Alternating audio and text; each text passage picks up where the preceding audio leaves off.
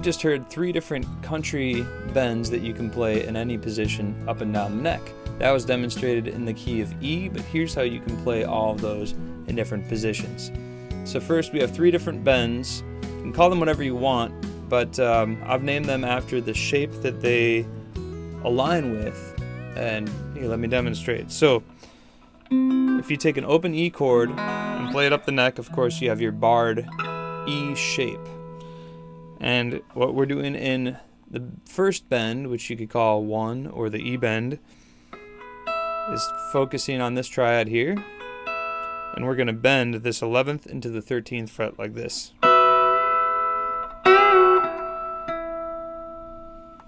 Alright, next you have your A shape. So you take an open A chord, play it all the way up.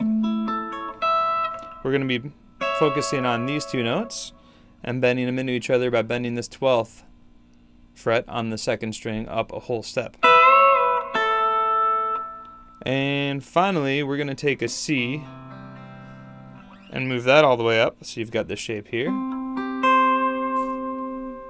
And we're either going to play two 12s and bend it up to the 13th there.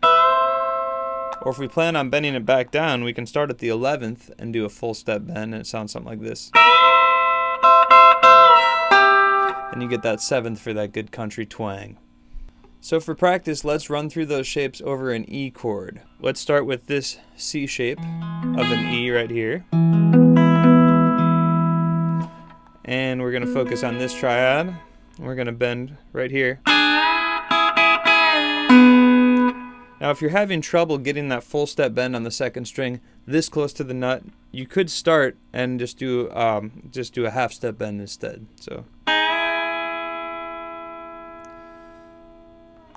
Alright, next we're to do this A shape. So we went from the C shape to the A shape. Still the same E chord. And we're going for these two notes, so we're to bend these two right here.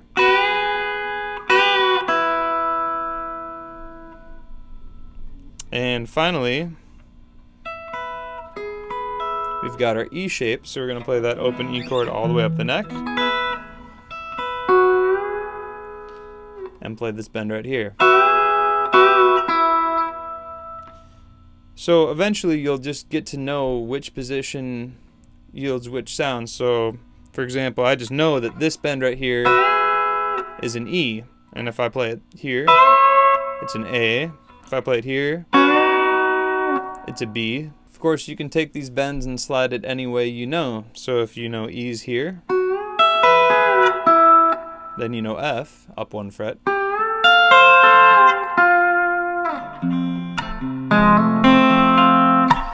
But really, when you're playing common progressions, um, you'll get a feel for it, and um, and it's it's cool that they can all work out to be in that same position here. So.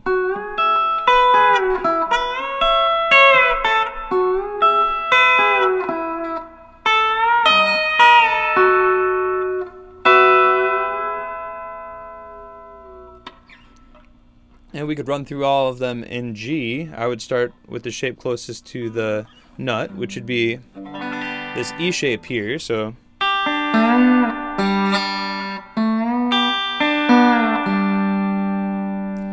uh, and then let's see here. Next we have this C shape here, and that would be. And then finally we have this A shape, still in the chord of G. So. So that's another one I have ingrained in my memory that that 10th fret, I happen to play in the key of G a lot, and that 10th fret, that double stop bend right there gets me a G. And here's my other one. And uh, and less common, of course, but uh, still great is that seventh, that that C bend.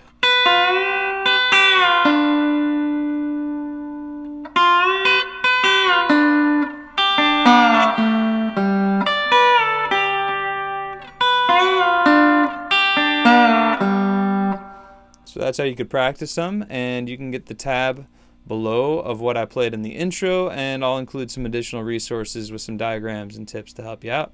So hope you found that quick lesson useful and happy playing.